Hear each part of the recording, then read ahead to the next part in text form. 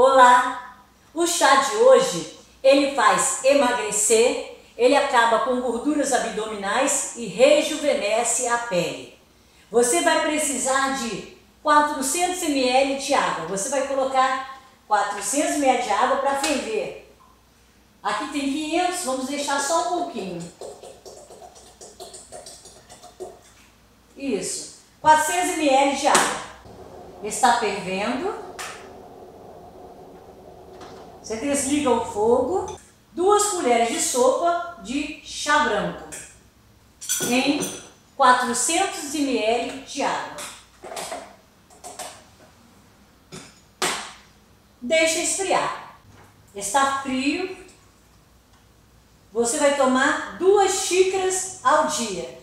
Fica com Deus.